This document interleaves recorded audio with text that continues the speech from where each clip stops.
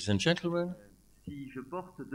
I am wearing quite clearly this mask, which, by the way, I will take off for uh, the purpose of better understanding. I want to testify here about what people who work in the hospital experience in uh, in Burgundy, and in the world. A system, you know, a crisis of the health systems that we have not experienced for quite some time. Well, yes, uh, hospital carers are like those who uh, carry out performances in public, except that we haven't had enough time to have stage fright in 2020. And after that, we went up fighting with the adrenaline in blood because there was action and because we really can give of ourselves. And as with any event, event there's part where it's tough, where you get a bit depressed and you get back in the daily routine. You have questions about the meaning of our lives and the limits of giving yourself. This is what are experiencing the health systems, and this is why it's so hard to manage to find again the level of human resources that we all really need. Look, despite of this, we need to reassure, since we were able to adapt for the past two and a half years, and we'll continue to do so. We will continue to do that because we need uh, more out of patient facilities. We need to facilitate the return to access to healthcare. We need to break down barriers.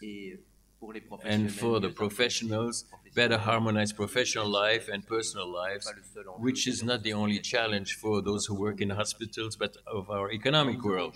We are lucky at the Hospices Civils de Beaune is that we have specific means, thanks to the guys who will be later on here, to in for our equipment in our buildings. For example, we'll have in our future hospital whose works will be starting in one year's time a percentage of one bed rooms, but also family rooms in maternity uh, above national averages.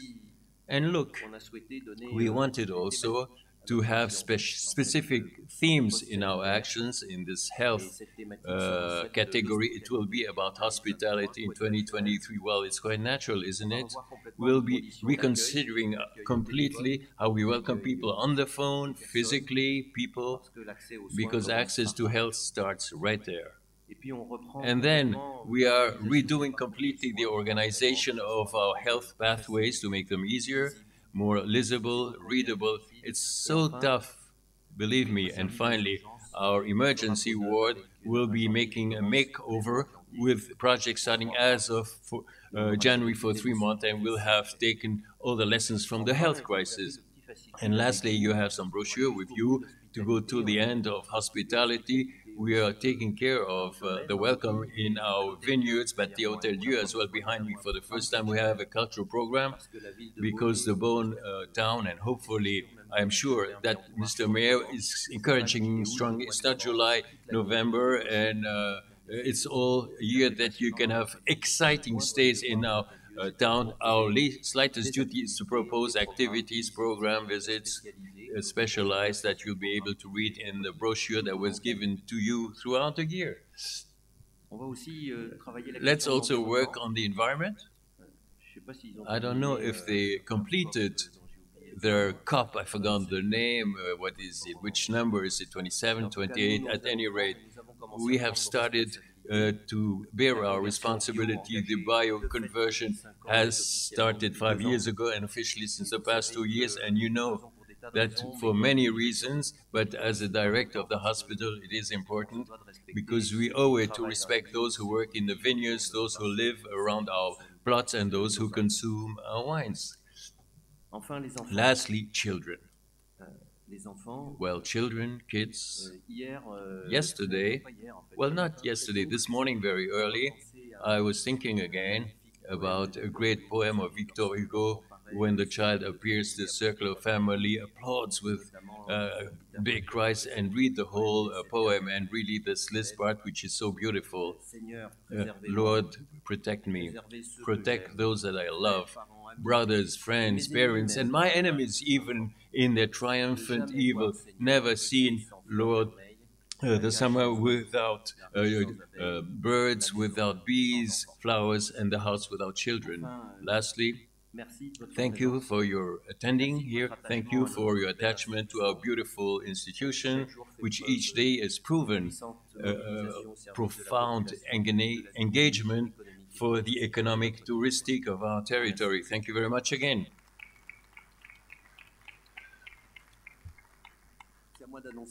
I am to announce the next uh, item on the agenda.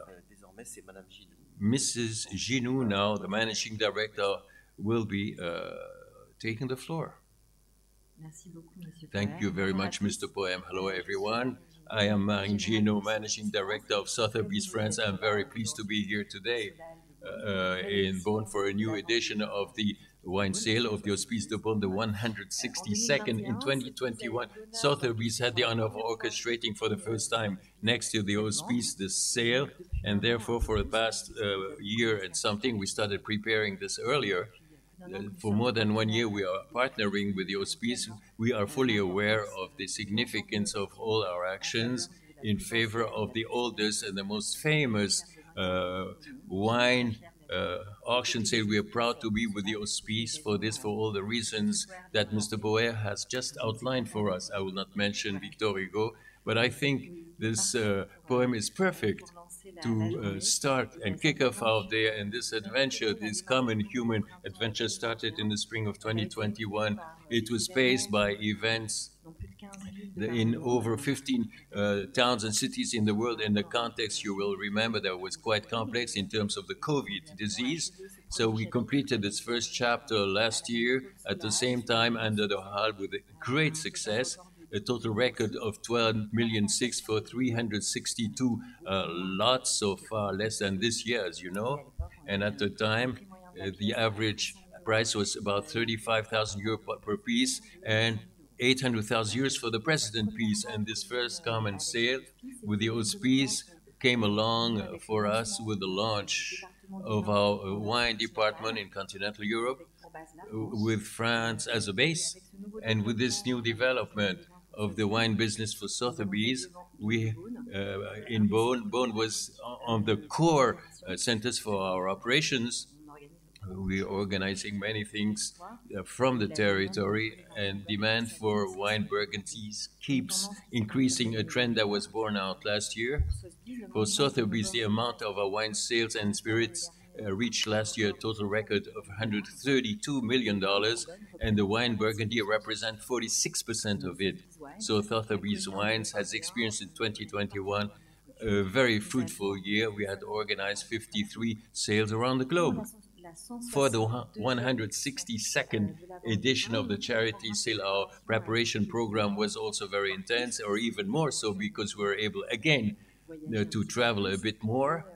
And before the sale, our team, uh, our wine team with Team Rishi Amele Satawi, who are in the room here, well, they met uh, customers with about 20 tastings around the globe for each time during these events, meet and involve collectors and give them the opportunity to discover both the history of the institution, its uniqueness, and also the excellence of the wines of this institution. And I think I have to speak louder or maybe sing because there's a lot of uh, context noise. And now the quality was highlighted about the wines produced by Ludivine Griveau and her teams and about the great 2022 uh, vintage. For the sale, we're continuing also to innovate through tools that are made available for us, especially our digital tools to reach an international audience which is more and more numerous, but also locally. So the sale experience is ever increasingly pleasant with some uh, experiences like the huge screen behind us. Look.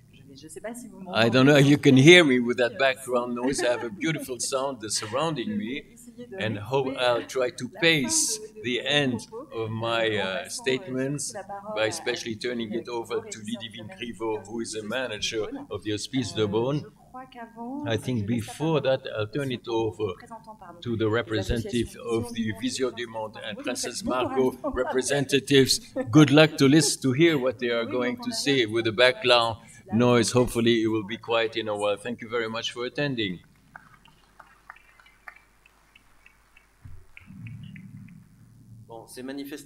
Obviously, uh, I have a Brazilian uh, spouse. She's at home. It's a batucada, you know, the kind of dancing they have in the Brazilian streets. Mrs. Camille Romain des Beauponts, who's the CEO of the Vision du Monde. I will not try to uh, do some steps of dancing, but let's build up on Mr. Poher what you said about the indirect consequences of the COVID pandemic, which seems quite far. Well, that pandemic totally reshuffled the cards for the most vulnerable uh, children and people and uh, uh, lockups constantly, uh, children not going to school. All the economic deregulation and rest has led many, many thousands of people into poverty. while we had a positive trend with lots of hopes in the fight against extreme poverty. Again, this is rising. And who are the people the most hardly hit? Well, the children, the most vulnerable, those who have disabilities. So those children for which the Vision du Monde organization, which is part of an international organization, is fighting around the globe to allow each child, each little girl and boy, regardless where they are born, to live well in their lives. And this entails what? Very concretely, very simply, eat uh, enough each year to grow well, uh, buy potable, uh, uh, drinkable water, go to school, and choose what they want to do later on. So Vision du Monde is putting in place very concrete projects which are for the long term. Mr. Mayor, as you know, it takes time to bring about changes. So we are part into projects, part of 15 years in the areas that are stable enough to do so by involving the families. We don't do it for them, but with them. We are here to support and give families the keys to raise their children under the best possible conditions. So this is the first part of our work, and we also help the most vulnerable children. We mean that you know, when you look at uh, chaotic news in our world, the wars, the uh, uh, displacements, also endanger uh, the lives of their children in Ukraine and Afghanistan, for example, but also today uh, in uh, part of Africa. All these crises also will put in danger children. So Vision du Monde also steps in in Venezuela, for example, Colombia, with uh, Caminantes uh, families in, Afga in, Afghanistan, in Ukraine, in Moldavia, where I was several months ago, to allow, protect these children and allow them to live fully their lives. So for those sales today, Vision du Monde has presented, and we're very happy, by the way, about this, to imagine that this project can be supported to help particularly the girls in Kenya, in Africa. We don't talk a lot about them, well, there are uh, people, some uh, areas where there are many poor. When you have marriages of children, very young uh, girls who are 10 or 13 years old who get married by force. Look, I'll skip all the details that you can imagine when you're married so young and when you're pregnant at the age of 14. It's a vicious poverty circle which is triggered there, and this marriage practice is associated with another practice. I'm looking for the word, I have no adjective for it. Yeah, barbarian. It's a barbarian where the uh, the on, they really maimed uh, their uh, genitals with, with consequences on their future life of women and also psychological trauma. So Vision du Monde will put a long-term project. It's called Kenya Big Dream. Hopefully this afternoon that dream will become reality for the Kenya children to allow to stop this practice of early marriages. It's a method that we already put in place elsewhere, and it's working. So today, let me end with this uh, note about hope.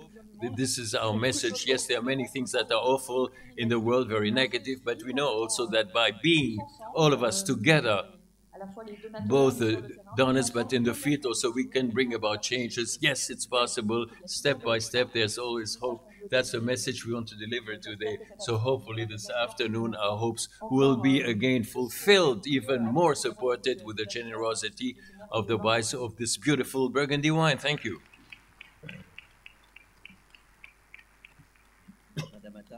Mrs. Hattab, uh, for the organization Princesse Margot, the charity organization.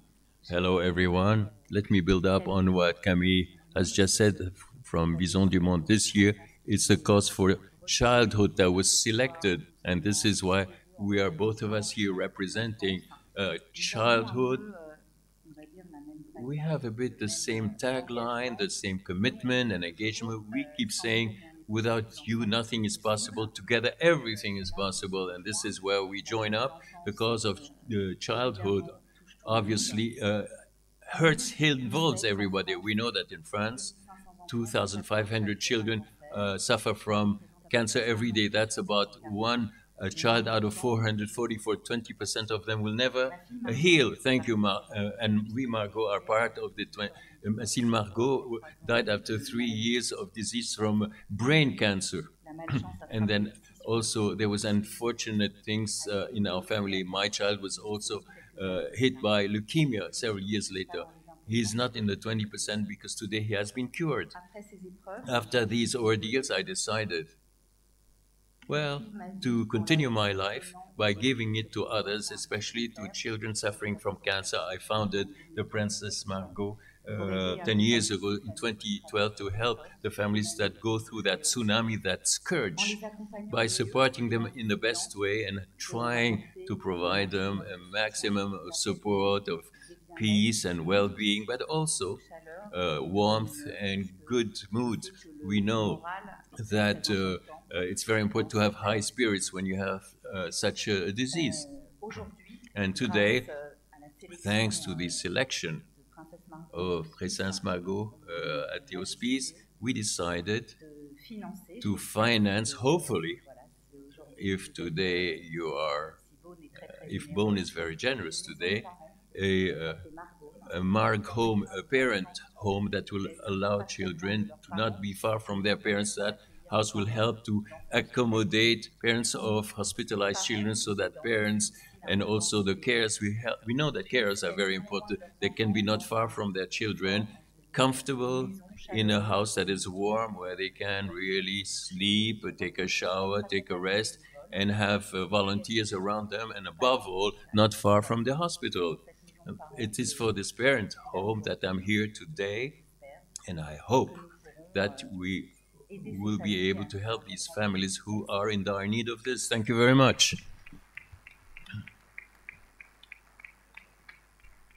Madame Flamand. Mrs. Flamand. Hello, everyone. Look, what can I say after you, Camille Muriel? Euh, it is an honor for me euh, to have been contacted to moderate this auction this afternoon and provide my modest contribution. I'm extremely sensitive to childhood. Childhood is the world of tomorrow. I know that childhood can be broke uh, without money, and when it or and when it is about defending it trying to protect it and ensure that tomorrow's world is better, since it will be uh, with all these children of today, my commitment is right here. It is total. So this afternoon, it will be a first one for me. But I'm very enthusiastic with it, with a lot of desire, the desire really to fight for it.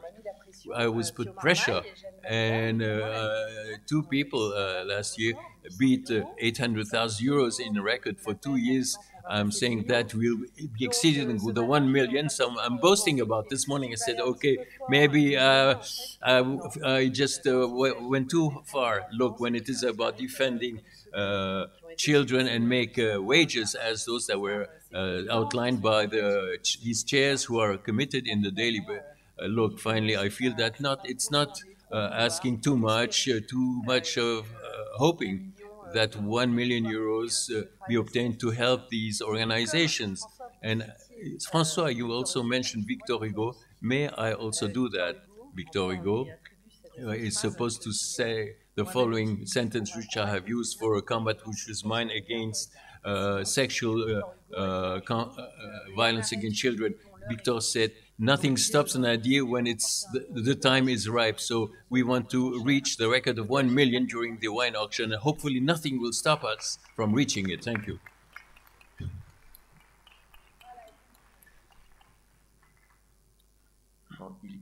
Look, it's about time to talk about wine, right? At long last, Mrs. Griveau, will you please? And after that, So I, I will not uh, each time be the master of ceremonies, then Mr. Labet and Mr. Donolé from the uh, board who will just step in.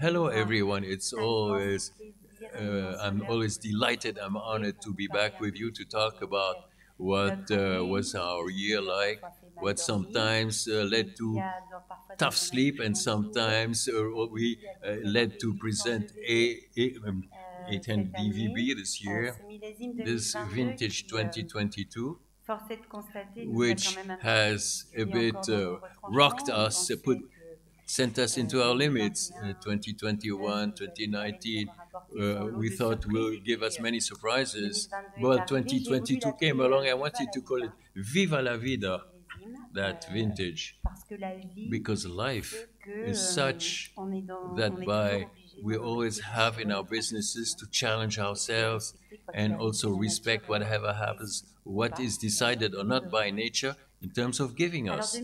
So 2022, to make it short, I think most of you uh, know already the highlights. Well, 2022 was not supposed to be so early. It was not supposed to be such an early vintage, and it is because of March, which was abnormally hot, that the buds starting coming out. So in this momentum, the vine never stopped.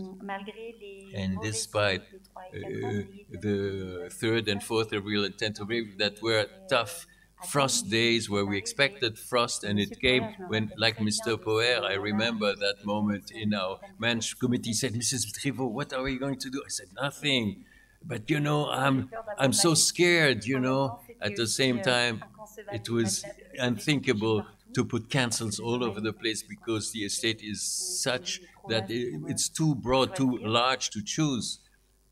And also because maybe the vegetation or the growth conditions were not risky or that risky. So we tried. Thank you for your support about my decisions that were tough to take. Well, then we went, we had a good ride finally where diseases became very rare. Well, uh, May finally uh, led the vintage into a real uh, early uh, bud bursting. We saw that the uh, fruit uh, on setting would come out. We were happy to see many bunches coming out, big ones, and also the flowering took place very well at the very early of June. So you you have a little bit of rainfall here and there, and then June came along, certainly with uh, uh, uh, water conditions that were low, but the potential of harvest that was significant. So June finally turned out to be where we had to do to take all the decisions for me, the regisseur with the team. It's not very easy to sim, uh, to decide by myself. Thank you for my teams of wine growers of having supported me for your advice. Uh, they worked on the plots when they decided in June to to start a little bit of harvesting when they decided not to prune because we wanted to protect. There was a lot of sunshine and it was high temperatures sunshine was long, it was hot for a long time. So all these decisions about uh, uh, uh, tilling uh, choices were essential, and I believe that they are highly involved in the fact that we succeeded in proposing yesterday afternoon very beautiful wines in whites and in uh, reds.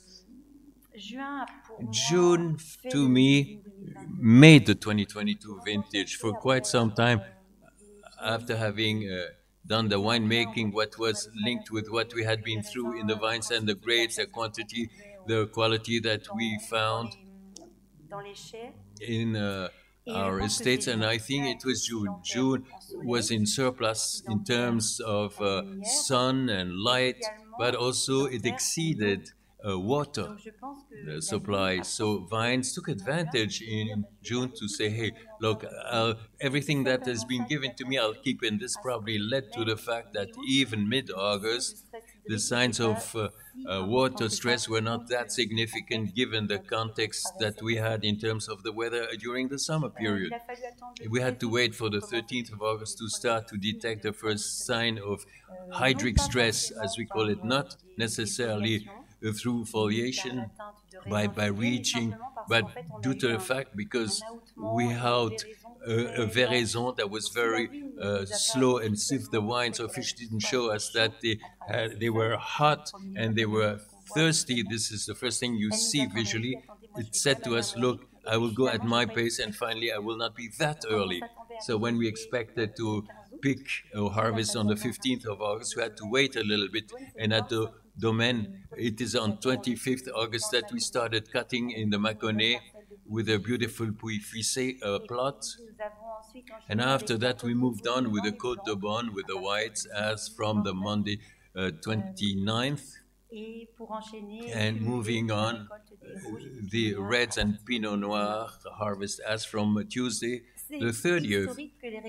I mean, it's uh, really once in a lifetime to, to last it. It, it took us 18 days because there was a lot of harvesting, but also we took enough time and scale. Look, I fully agree about the fact that time be our ally. Even though things are moving swiftly, we can afford to take uh, time, and we took it to look for the Pommards that we waited for. We took enough time to look for the Saint-Morin that came in only on the 16th of September. We took it also to uh, make sure the Cortons unexpectedly were in the midst of the bone.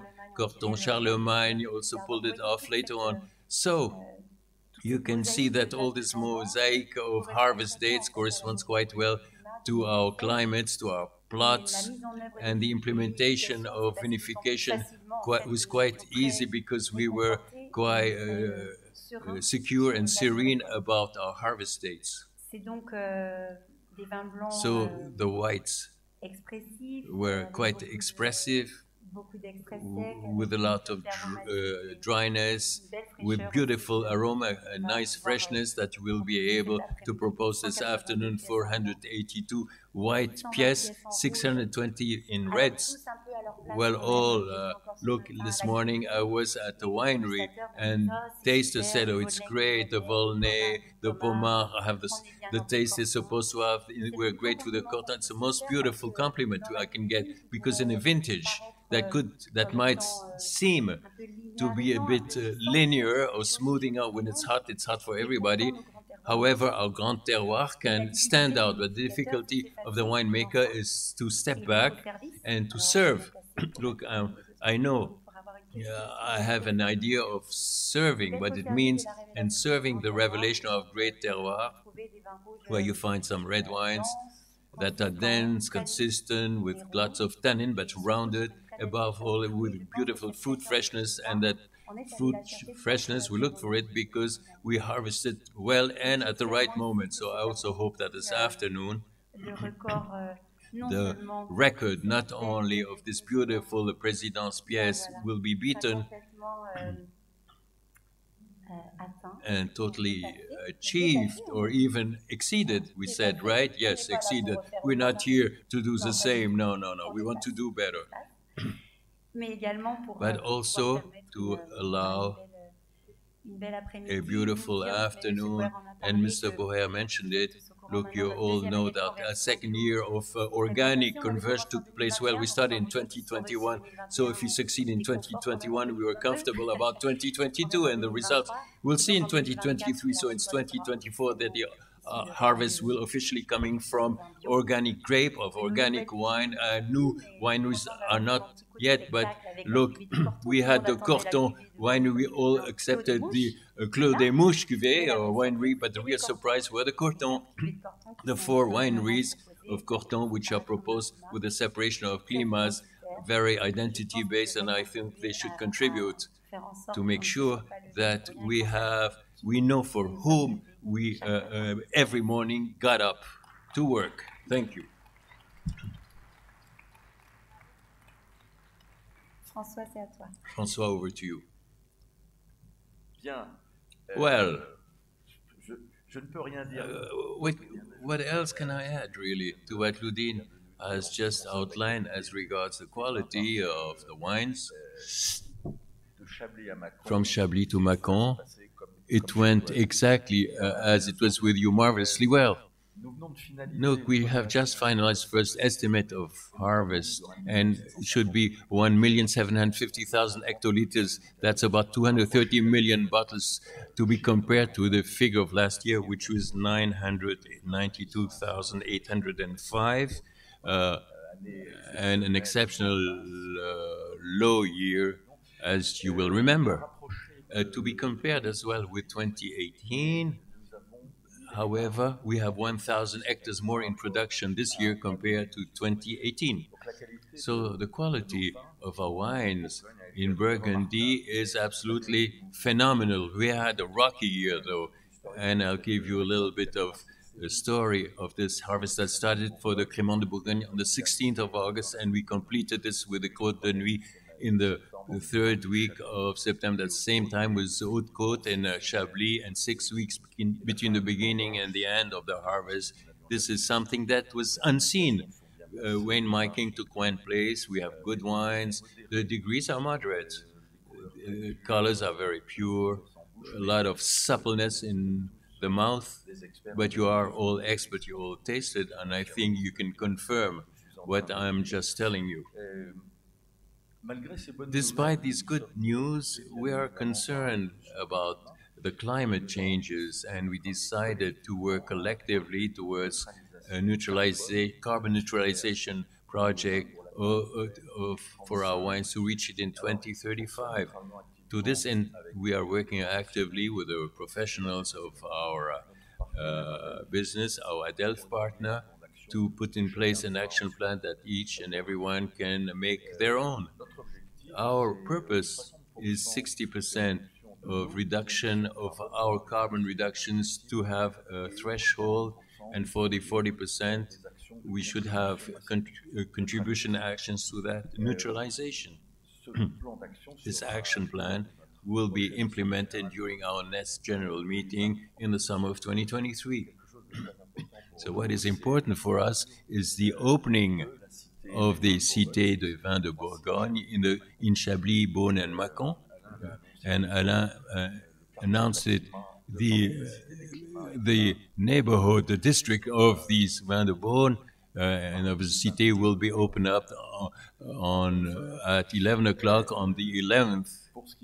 As far as we are concerned, after years and years of thinking, uh, design, and numerous work, uh, uh, and with all the supply problems that we are aware of, the city will opening up in the spring of 2023.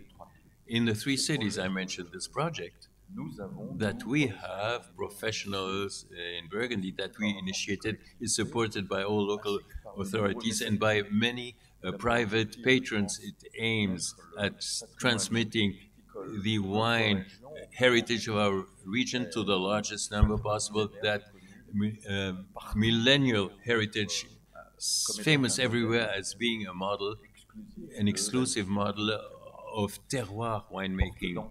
So the entry door to that city, uh, it should provide a unique uh, experience and multisensorial. I can supplement this by adding that the works uh, the main works are over and the Chablis buildings will be open in all likelihood at the very early of spring. And Beaune will be open around mid-May and today. Our teams are working towards equipping uh, the uh, inside in terms of scenography all of this uh, for our beautiful region. Look I was looking this morning at the blue sky and I felt oh, such a it's such a beautiful region, and I think Laurent will draw a parallel between this beautiful weather and the good health of our economy, our wine-related economy. That is. Thank you.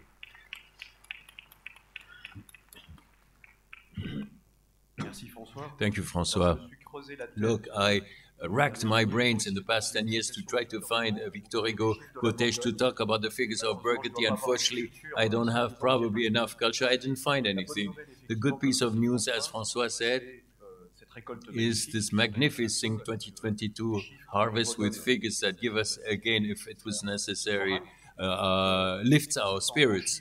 Just in figures, in a few words, 1,750,000 hectoliters, that's plus 23% compared to the average of the past five last years and it's more than 75% compared to 2021. 2021 was a harvest that was historically very low. 2018, not long ago, was historically significant. It gives you an idea about the changes that we have now with the climate change, and we need to adjust to such a situation so that this volume of 2022 is lifting our spirits again. The bottles will start to be in the market uh, during 2023 for the first ones, the appellation régionale. It's mainly from the end of 2023 and 2024 that we'll see the full effects.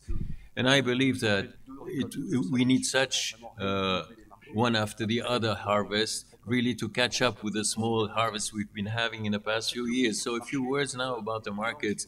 The trends that we saw during the last press conference several weeks ago are being borne out. First of all, the releases from estates are made up both of what we call uh, transactions, uh, that is the sales between the wine growers and the trades, and on the other hand, the releases in bottles by the estates themselves. Now, the transactions for 2022, without any surprise, they are surging, plus 67%, and last year we were at minus 30. So the sales from the transactions follow suit with the volumes of production, it's not very surprising.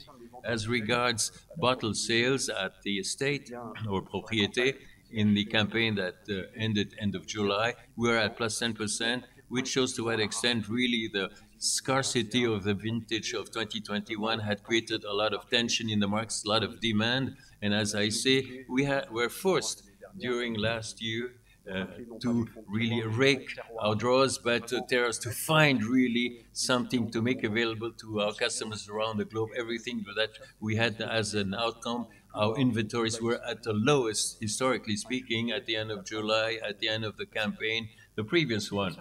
As regards markets now,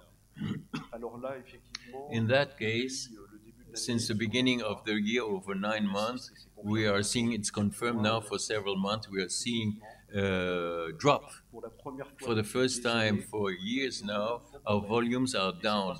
It's not surprising because, as a matter of fact, the available volumes themselves are quite limited.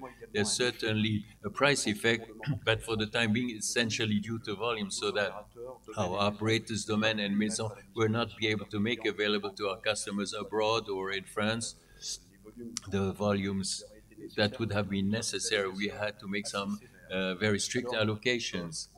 Now, as regards, for example, uh, the large retailers in France, there, unfortunately, th this is in line with the general trend. In France, there's some uh, lower consumption of wine. It's due to different reasons. First of all, the age pyramid, the young generations consume less wine than the previous generations young consumers are tempted by other drinks like beer or spirits, and uh, wine is competing with all these kinds of beverages. So we know that in France there's a lower consumption, especially the reds are being hit.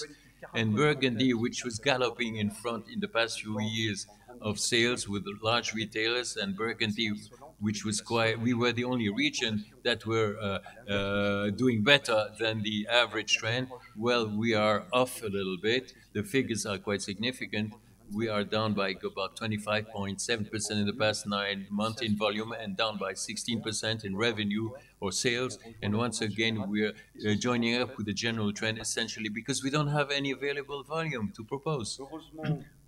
Fortunately, the traditional steak, especially restaurants, catering did quite well. Burgundy wines are extremely, extremely well in uh, restaurants and also in the uh, specialist uh, wine shops. A study shows us Burgundy represents 17% of uh, the offer these uh, specialist uh, wine sellers make. We know that we are only 4% of the whole the production of French wine. So we are overrepresented. So we are doing well. So export markets, no changes in our top five. Our uh, the club of fives of the main markets. In this case, again, volumes are down. Overall, for exports since the beginning of the year, it's, it's minus 10.2%.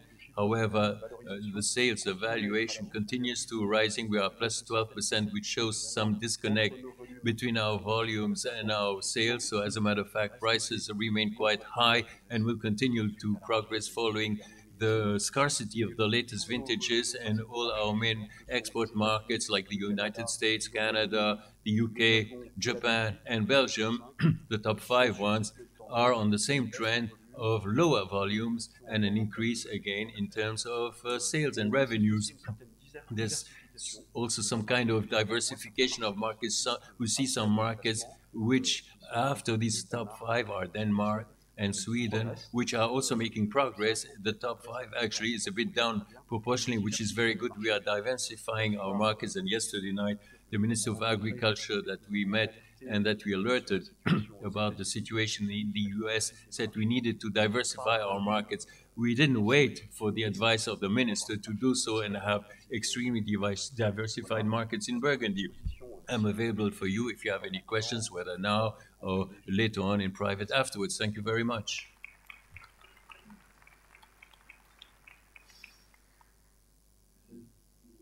Listen, we are all now available for you for your questions, of course.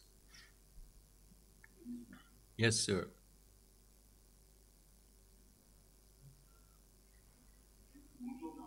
Bernard Burtschy. First of all, a few words for Laurent. Victor Hugo is God uh, uh, made, made water and man made wine. I have a comment and a question.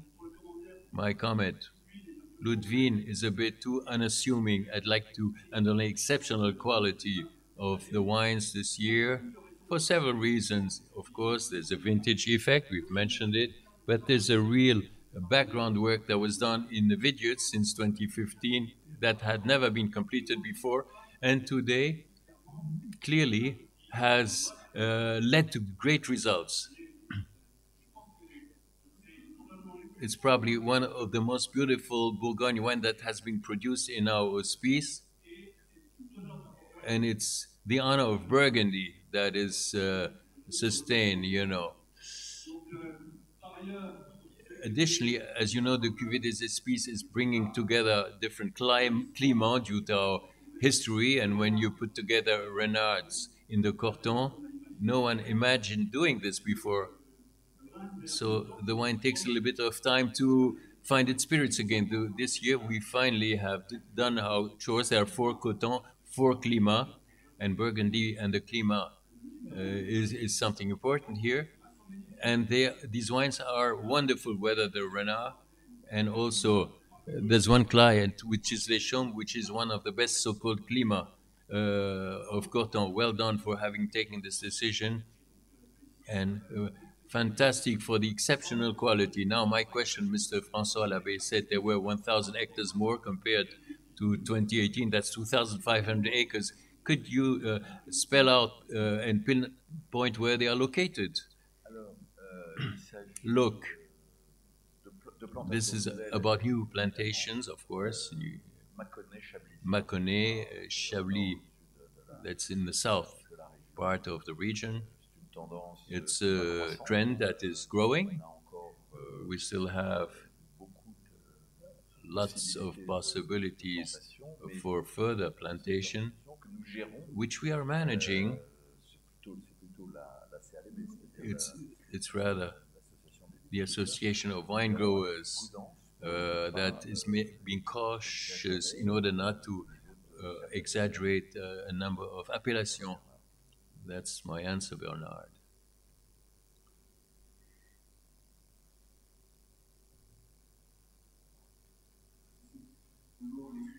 Alexandra Bellon, you mentioned the meeting with the minister yesterday. Did you speak about reviewing the Appellation de Bourgogne or reconsidering, revisiting it?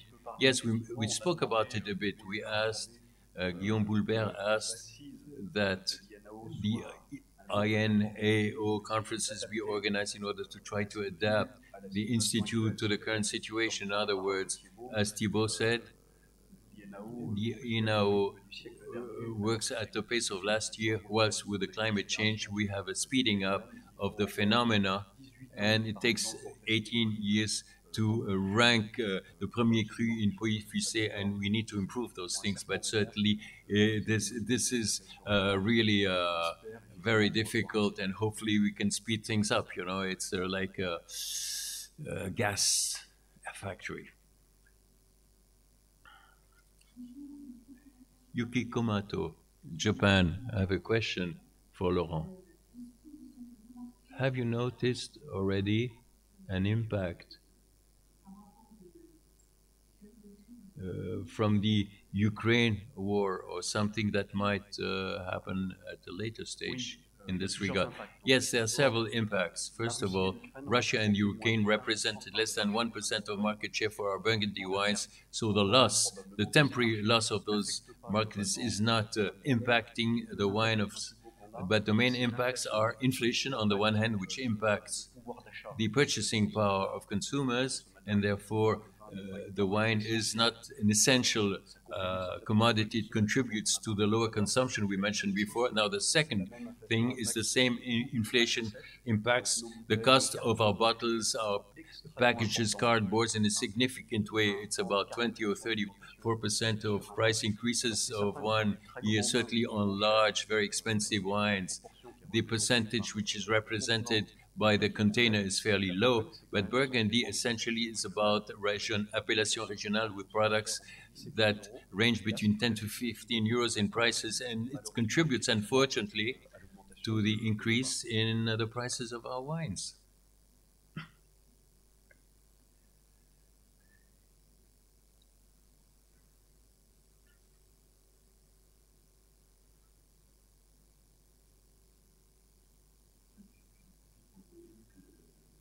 By the way, in, inflation has a huge impact on uh, the hospital finances. No other question? Yes, sir. Compared to the the 2022 uh, challenges of volumes sharply higher, how can you forecast the Burgundy average prices? Will it go down or not, or go up? Will stay the same. Look, I don't think uh, it is limited to me. It is uh, the um, supply and demand that uh, matter. A small production, which is pulling uh, higher, and uh, prices move up because we have 4,000 operators in Burgundy between the wine growers and negociants and uh, the sellers. It's 4,000 economic agents take their decisions at their level. Truly, it's the involvement of the market, the pure and perfect market, as we hear in the economic uh, theory. If we had several years of significant volume, it's quite likely that we have prices going down. As I said before, in my opinion, for us to see a market that finds again a normal situation, it takes at least two significant harvests like uh, 2022. The effects, we won't see them, I believe, before the end of next year or 2024 for the remainder. Unfortunately, I will not uh, uh, make a forecast. It's the same thing for our auction sale this afternoon. By the way, let me add, Burgundy, well, the Burgundy wines are, have an image of expensive wines is totally false. It might be true for 4% of the wines produced. Let's not forget that 50% of the Bourgogne wines are generic appellation white, Macon, red, uh, with prices in uh, among the retailers uh, will not surpass very often 12 or 13 euros. People are focusing on the Grand Cru, but the Grand Cru is the very small tip of the iceberg.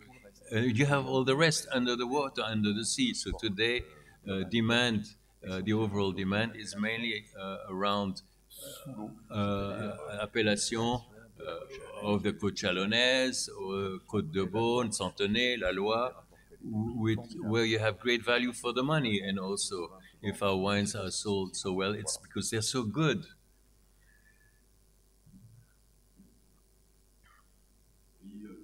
Paul Matthews. François Labet, could you specify these famous wines which are under the water, which are less expensive. Uh, the latest appellation Coteaux Bourguignons, for example, or Bourgogne Côte d'Or, are they uh, pulling it off, doing well, or I don't know. I have questions about this because the Grand Cru are doing quite well. We understand that. Well, it's not under the water, under the level of the sea. That's what I mean, you know. Of course. Yes, of course, Paul. Appellation Bourgogne Côte d'Or, which we'll uh, be enjoying uh, when we taste the, the Nest Saint Vincent Tournante of Couchey. Yes, the Côte d'Or wine growers that produce appellation wines that are generic wanted also to have their geographic uh, uh, appellation. It's recent, granted, but it's working quite well. Coteaux Bourguignons, that's the appellation, the lowest in the hierarchy. It allows consumers and to the new consumers to start uh, knowing and appreciating the wines from Burgundy. It's fine as well.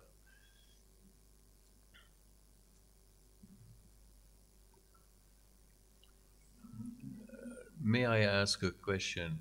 I'm highly interested in the uh, wine tourism. Are you planning new projects in regard to wine tourism and uh, uh, about digital communication around this? And, and, and, and communicate not only through the uh, normal uh, means of communication, but also go through the uh, digital means.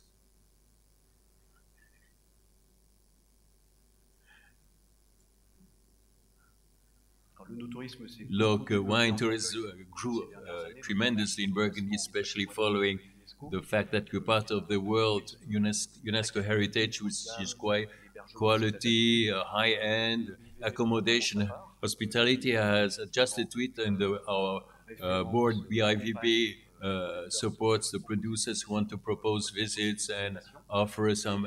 Uh, I manage this, and for me, wine tourism, the main uh, topic in Burgundy is the next arrival.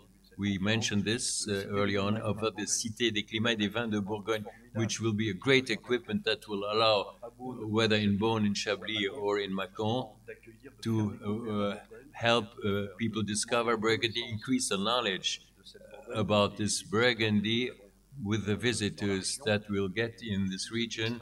And I'm extremely upbeat about the future of the cité because we have a great ecosystem in Burgundy with visitors who come from around the world and we'll have a great equipment that will allow them, that will be the entry door to, for these tourists into Burgundy, with also, uh, we want them to redirect them towards the maison, domain, estates, and producers. We'll take for the last two questions, please. Hello, everyone, Guino Benoit. Question for the regisseur. Uh, are there any bequests in view for, for a new appellation that could emerge? Alors, euh, Listen, the, we benefit, as a matter of fact, from the uh, generosity for several years. A number of projects are underway. A number of ideas are starting uh, to pop up a little bit when I welcome. Uh, wine growers during tasting uh, events. Some of them uh, clearly express a desire and the idea. And by the way, it remains something. Well, if someone will materialize, it's still something that needs to be built further. It involves a lot of heritage. Quite often, these are family values that need to be uh, driven and carried. So, institution does not do any take any initiative in regard to this. Uh, the, our institution provides care and attention and receives the generosity that people uh, want to give her. There are a few leads that we have, I will not talk about them. It would be too early, and above all, we need to respect the time that is necessary for each family to construct and build this beautiful project.